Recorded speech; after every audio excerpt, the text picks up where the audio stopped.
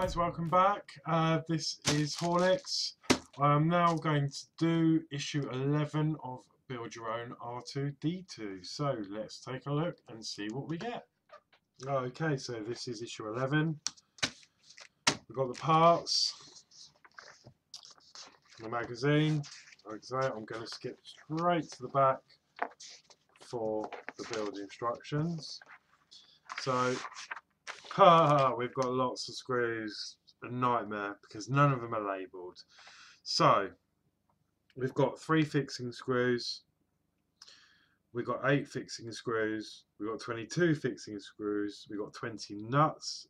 We've got five fixing nuts. And we've got five fixing screws again. So, different types of screws, a whole array of them there. We also get a dome frame and a dome support rod and they are all in here. So without further ado let's try and model through with all these screws.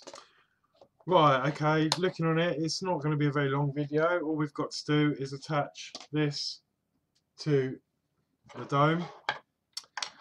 The screws aren't actually that bad. I've just put them away in my box. Um, you've got the large pack of 22 fixing screws goes with the other ones we had previously and that's to do with the dome. Um, and then obviously the nuts to go with them. You've got five larger screws with five larger nuts. Um, so they're obviously going to come apparent later on. They're quite heavy. And even my new magnetic screwdriver is useless. So even my older one's a bit better. I'm just trying to get one out. Yeah. So you've actually got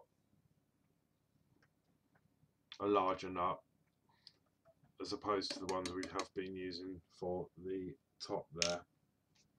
And then we ended up with three black what are like self-tapping screws so they're obviously going to be some sort of plastic they're quite large I already have one of these already so I've now got four and then we had some more of the smaller machine screws. I had one left I think I can't remember what I used them for now but so yeah they're in there as well. So for this all we need is the two smaller nuts and washers uh, sorry nuts and screws that we were using previously which are the longer ones, long thin ones just to attach that to the top. So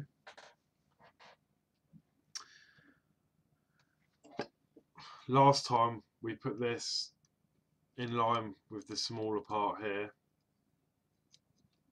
So this time it wants us to fix this to the left of that what we did last time. So yeah, just to the left there. Same deal. We put a nut just in the top.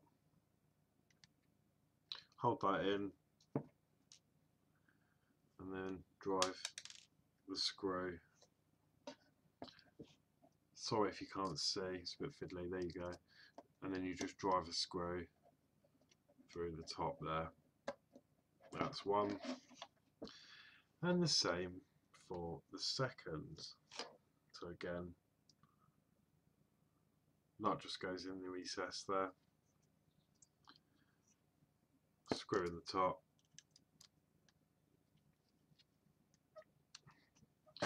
And that is it. That is it guys for issue 11.